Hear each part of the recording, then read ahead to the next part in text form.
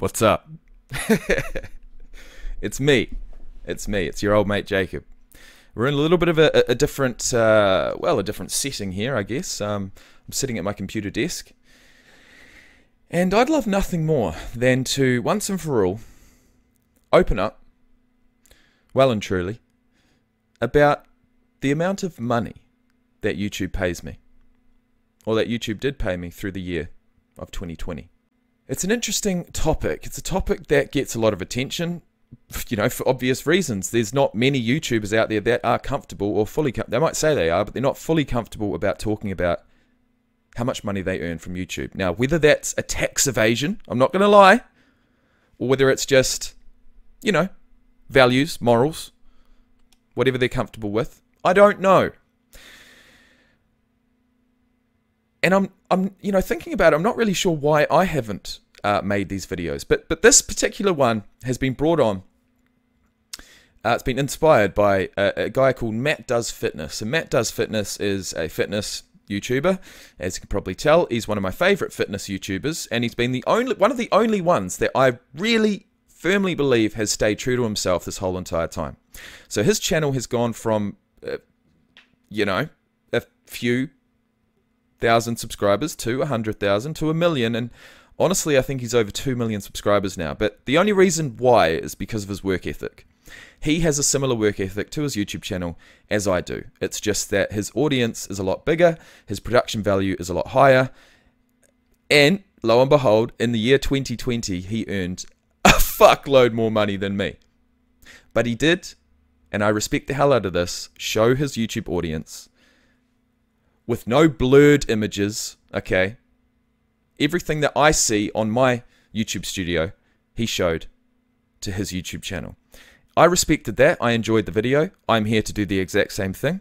And that is what we will do. So, what I'm going to tell you right now is that YouTube was my full time income for the very first time throughout the whole of 2020. So, I decided to go all in, all in on YouTube for, th- for the 12 months, which is, you know, I'd pretty much gone all in for the last three years before that. But officially, I did not have that full time income to fall back on you know what I mean? So YouTube wasn't anymore just a side gig. Um, I had no choice but to back myself, but to say, right, well, if I wake up and I don't have to go to a normal job, what else am I going to do? I'm going to put as much effort as I can because burnout is a real, real thing on this YouTube this YouTube platform. Okay, if you've been following YouTubers that do talk about their personal lives, who are comfortable enough talking about their personal lives, you will have heard or seen some burnout. I've experienced it. We've all experienced it, whether we've got a YouTube channel or not. There are so many more factors with YouTube coming in at you. You know what I mean? You've got you've got the analytics, but you've got the criticism. You've got the the you've got both the criticism and the congratulations. You've got yeah, bad and good comments. You've got a lot of work, a lot of back end like data entry type of work. But that's the work that I enjoy. It's the hustle, it's the grind, it's it's it's putting in putting in the hours which I don't I don't actually have the ability to do anymore. One thing I will say guys, before I get into this money, this money situation for 2020, and the last thing I will say is that when I've sat down for for editing sessions recently in recent months to get these top 100 videos out, my staying power is not what it used to be. I don't know where or why that is, where that's come from or why that is, but I just can't do it. I can sit down for three hours. I might even be able to sit down for four hours and do editing, but I certainly cannot sit there for 10 or 12 hours straight like I used to a short two years ago. I mean, could I? Yes. When you're editing yourself, okay, uh, you're looking at yourself, you're listening to yourself constantly for 12 hours in a day, that'll send anyone nuts. And it certainly sent me nuts a few days there. But I'm glad to say that I know my limits and I will stick to them because I can't afford to burn out and I don't want to burn out and I don't have to burn out because I've done it before. I know the warning signs. And that is all I will say on that matter. Now, what you've all come here for is to look at my analytics officially, my back end, the back end of my YouTube channel, where all of the data entry, all of the analytics, all of all of my, you know, well, all of my stats, all of my YouTube channel stats. You guys know how much I love stats. Here are the stats, all right? Here are the fucking stats. I'm going to go 2020. I'm going to bring up a screen capture. Okay, and I'm going to put it up here because I'm going to I'm going to cut off the top of the screen because it's a bit it's a bit ugly. I'm going to come over this way and keep talking. So, my friends, this is it. If you'd ever wondered what a YouTube studio dashboard looks like, specifically the channel analytics page, this is it. This was my channel in 2020. Am I going to show you 2019? No. Am I going to show you 2018? No. But what I am going to show you from 2018 in the next video is my most successful day on YouTube ever. Okay? My most successful day on YouTube ever. Now, to put that in, into perspective, that is around the time that it exploded. I'll show you exactly what happened.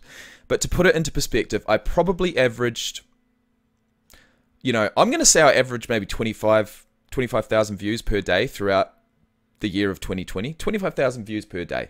A total of 6.3 million. You know, there's a there's an outlier here of uh, There's an outlier of uh, 80,000 views on Saturday, January the 18th of 2020. I'm not exactly sure what that was from. Most likely uh, DK Metcalf for Patrick Mahomes video. But apart from that, you know, I was averaging around about 20 to 25,000 views per day. Now, to put that into perspective, on a single day back in June of 2018, I received over 500 thousand views in a single 24 hour period. Now, what that did was explode my channel. That day, that Marshawn Lynch video, combined with all the other videos that I'd made previous, which I will talk about, because I kind of set myself up for that. I'd kind of, I, I did set myself up for that day, and, and, and for someone to find that video and for me not to have any other reaction videos on the channel, it would have been a completely lost opportunity. But I knew that one of those videos was going to go well eventually. Just one, that's all we need. And it did. And at that time, I probably had about 20 other reaction videos in the library. So they found that one. They went to the next one. They went to the next one.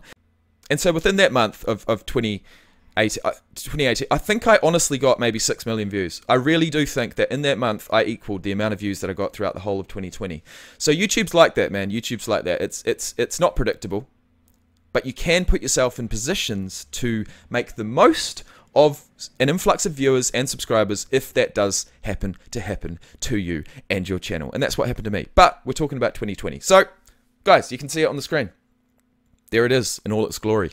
I made in my first ever year of going full time on YouTube, $15,180.10 from 6.3 million views. Now, if we do click on the money tab, we can see that on average, I'm going to say, look, there's, there's, look, this is times, I put out, I put out at least one, if not two videos every single day throughout 2020.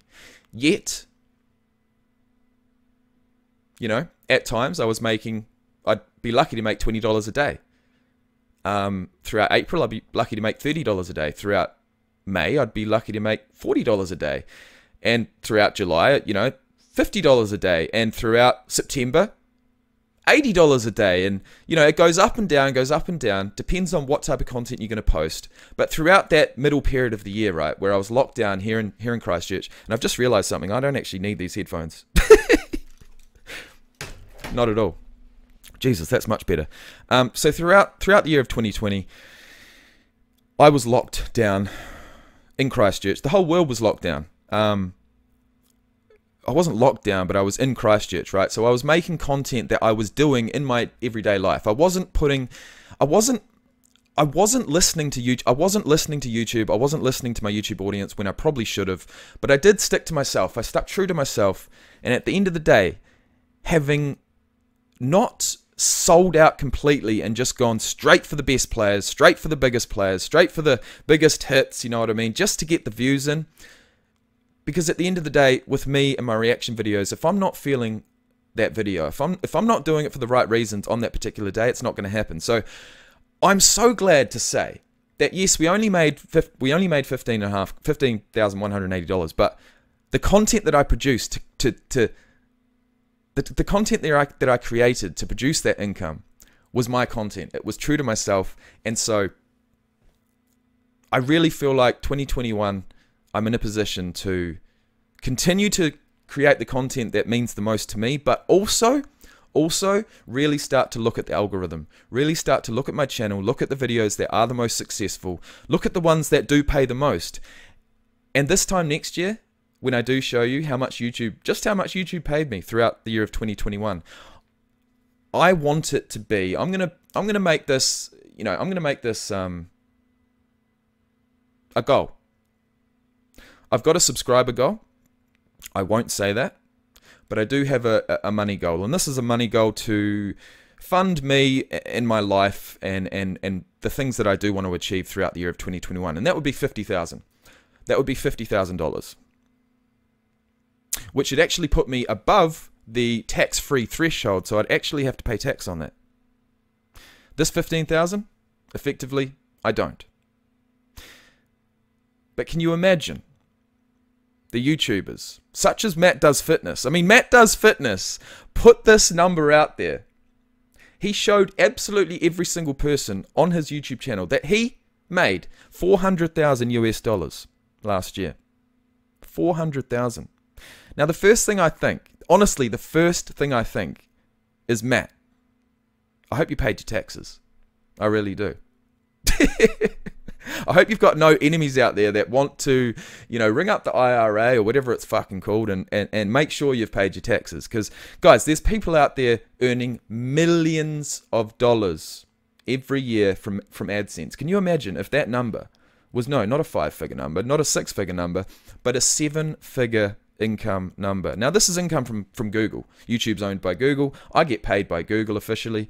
So, effectively, this video could probably be called how much did Google pay me throughout 2020, but we're going to call it how much did YouTube pay me throughout 2020.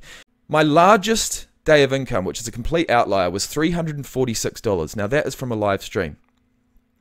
My second largest outlier, which was in late December, was $249. Once again, a live stream. And my third largest outlier, which was again in, in December of 2020, was videos that I'm publishing, the top 100 series, at least the ones that are monetized, but also, yet again, another live stream. So moving into the future, or moving into January, what did I do? I saw that trend. I saw that we were making more money in the month of December than I ever had before that year.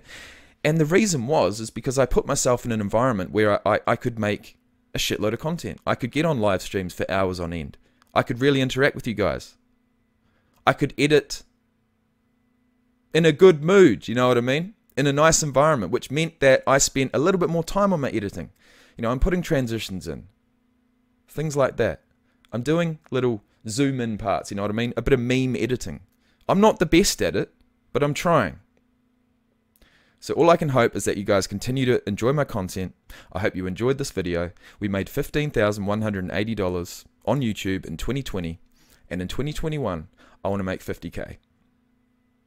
So thank you for being here. And I'll see you in the next one.